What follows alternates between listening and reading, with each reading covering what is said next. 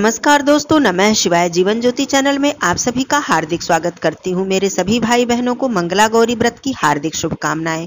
आज सावन का तीसरा मंगलवार है। सभी माताएँ बहनें मंगला गौरी का व्रत धारण करेंगी और माता गौरी जी से अपने सुख सौभाग्य का आशीर्वाद प्राप्त करेंगी। आइए इस वीडियो में श्रवण करते हैं माता मंगला गौरी जी की व्रत की पावन कथा। आप सभी भाई बहनों पर माता मंगला गौरी जी की कृपा सदा सर्वदा बनी रहे। सर्वमंगल मांगल्ये शिवे सर्वार्थ साधिके शरण्ये त्र्यंबके गौरी नारायणी नमोस्तुते पौराणिक कथा के अनुसार एक समय की बात है कि एक शहर में धर्मपाल नाम का एक साहूकार रहता था। उसकी पत्नी बहुत ही खूबसूरत थी और बहुत ही गुणवान थी। उस साहूकार के पास बहुत ज़्यादा धन संपत्ति थी, लेकिन उसके पास कोई संतान नहीं थी। संतान न होने के कारण वो साहूकार और उसकी पत्नी हमेशा दुखी रहते थे। साहूकार और उसकी पत्नी हमेशा भगवान भोलेनाथ जी की पूजा अर्चना किया करते थे। धीरे धीरे समय व्यतीत हो रहा था। भगवान भोलेनाथ जी की कृपा से साहूकार की पत्नी गर्भवती हुई। और उसने एक पुत्र को जन्म दिया।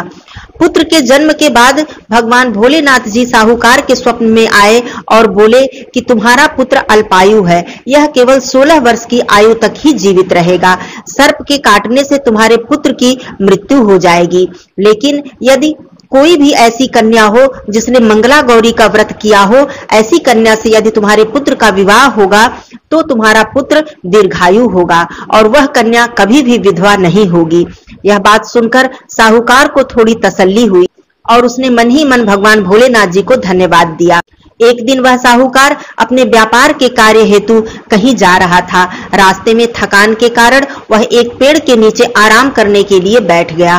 पास ही एक तालाब था। वहाँ पर दो कन्याएँ थोड़ी देर बाद वस्त्र धोने के लिए आईं और आपस में बातें करने लगी। एक कन्या का नाम कमला था और एक कन्या का नाम मंगला था। कमला और मंगला आपस में बातें कर रही थी। कमला ने कहा कि मैं माता मंगला गौरी का व्रत पाँच वर्षों से करती आ रही हूँ। तू भी यह व्रत शुरू कर दे। तुझे भी सुयोग्य वर की प्राप्ति होगी। यह व्रत बहुत ही उत्तम है और माता मंगला गौरी की कृपा हम पर सदा बनी रहती है। माता मंगला गौरी जी हमें धन धान्य सुख संपत्ति प्रदान करती हैं।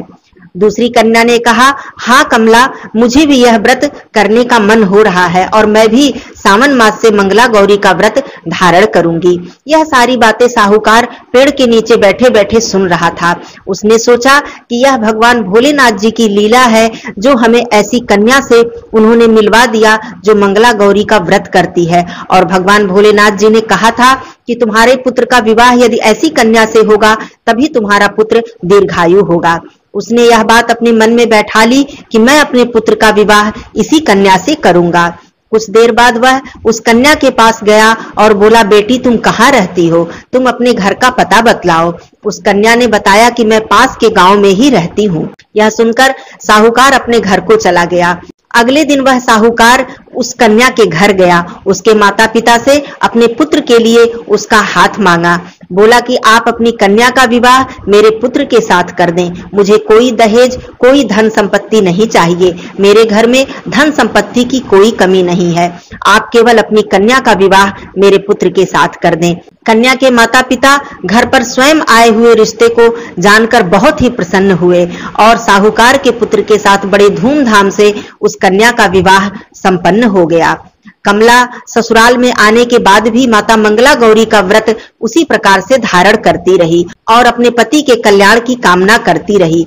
जब उसके पति की आयु 16 वर्ष की पूर्ण हो गई, तब एक दिन माता गौरी जी कमला के सपने में आई और बोली कि, हे कमला, तुम्हारा पति केवल 16 वर्ष की आयु तक ही जीवित रहेगा और सर्प के काटने से इसकी मृत्यु हो जाएगी। लेकिन तुम बिल्कुल भी चिंता मत करना, मेरा आशीर्वाद सदा तुम्हारे साथ है। तुम मंगला गौरी व्रत के दिन रात्रि में एक कटोरे में मीठा दूध रख देना और पास ही एक खाली मिट्टी का मटका रख देना। सर्प आएगा और उस दूध को पी लेगा और मटके में चला जाएगा। उसके बाद उस मटके को तुम किसी कपड़े से उसके मुख को बाँध देना और उस मटके को ले जाकर जंगल में छोड़ आना।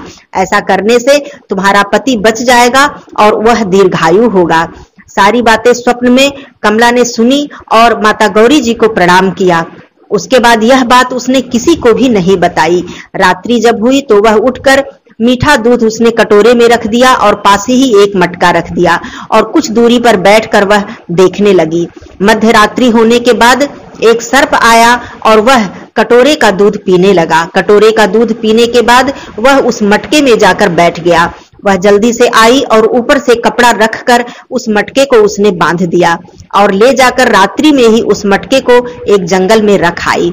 सुबह होने पर ये सारी बातें उसने अपने पूरे परिवार को बताई। सभी परिवार आश्चर्य में पड़ गए और माता मंगला गौरी जी के चरणों में गिर पड़े। सभी परिवार माता मंगला गौरी जी का धन्यवाद किए और पंडित जी को बुलाकर धूमधाम से माता मंगला गौरी के व्रत का उद्यापन कमला ने किया। ब्राह्मणों को भोजन कराया, ब्राह्मणों को वस्त्र, उपहार आदि देकर विदा किया। अपने घर में यज्ञ करवाया और माता मंगला गौरी जी से प्रार्थना की कि हे माता रानी, जिस प्रकार से आपने मेरे पति की रक्षा की है, उसी प्रकार जो भी सुहागिन स्त्रियाँ इस व्रत को धारण करें, उनके पति की आप रक्षा करना।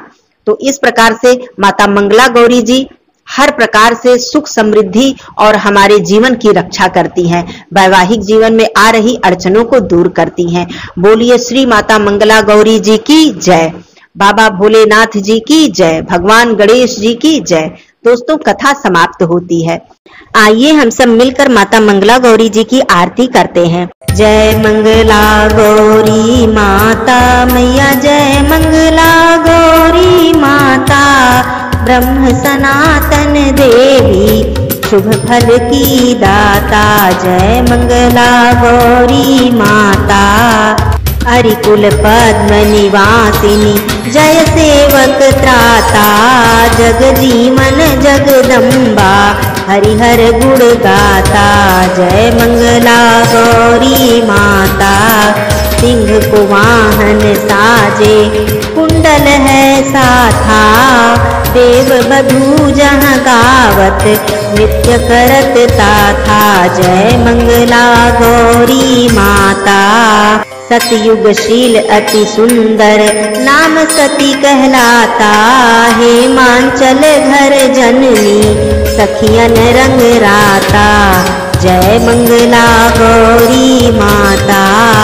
शुम्भनि शुम्भविदारे हेमाञ्चल स्याता सहस्र भुजातन् धरके चक्रलियो ॐ जय मङ्गला गौरी माता सृष्टिरूपते जननी शिवसङ्गरङ्गराता नन्दी भृङ्गी बिनलाहि सारा मद माता, जय मंगला गौरी माता। देवन अरज करत हम, मन चित को लाता। गावत दे दे ताली, मन में रंग राता। जय मंगला गौरी माता। मंगला गौरी मैया जी की आरती, जो कोई नित गाता। सुख संपत्ति घर आवे सब सुख वह पाता। जय मंगला गौरी माता मैया जय मंगला गौरी माता। सर्व मंगल मांगल्ये शिवे सर्वार्थ साधिके शरण्ये त्र्यंबके गौरी। नारायणी नमोस्तुते। जय माता दी